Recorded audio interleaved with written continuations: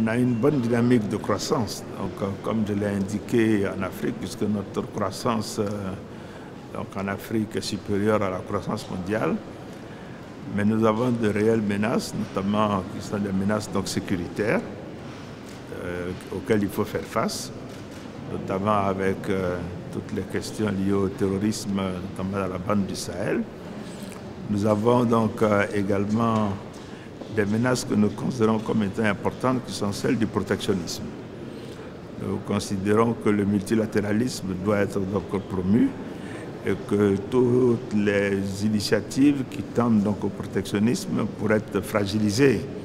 Donc l'éclosion donc, de l'industrie donc, africaine. Donc nous en appelons donc, à ce que, au niveau mondial, qu'il y ait le plus de concertation pour que les règles du commerce international doivent soit définies ensemble et que ces règles soient équitables pour permettre à tous les pays de tirer profit donc pour leur économie et pour le développement de leur euh, économie et pour leur population.